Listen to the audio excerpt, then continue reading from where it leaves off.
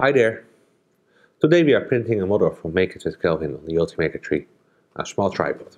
So, let's get started.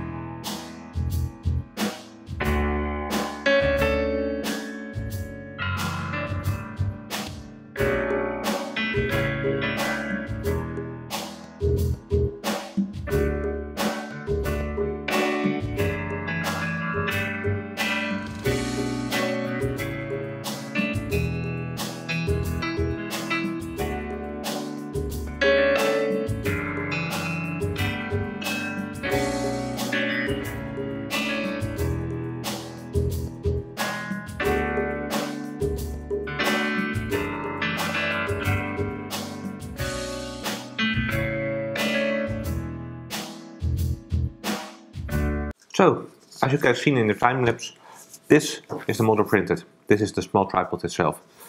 There's also a small, few small parts printed as well.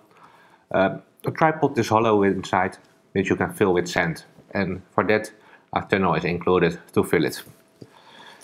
He also made a few mounting points for the inside. This is one with around a circle, pretty nice. Uh, he also made a smaller one that fits actually in the top itself. He may also made a few feet for here.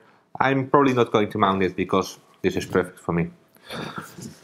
The print itself came out pretty nicely, except a bit for here at the bottom. But that's pretty logical because it's bridging and not perfect. Uh, for the use of me, I don't really care. It works and that's the most important thing. Um, the finishing itself is really nice in the silver metallic PLA from Ultimaker. I will be using this as mostly a uh, GoPro mount for side projects or 3D printing, so this is going to help a lot with this. I'm probably not going to fill it with sand because it's not needed. Um, it's stable enough for the uses I'm going to use. So, a lot of thanks to Calvin for making this model. It's a great model. You will find a link in the description below, so download it as well. Thanks for watching and see you next time. So, thanks for watching this video. Please subscribe if you haven't already. And please like this video, it helps the channel a lot.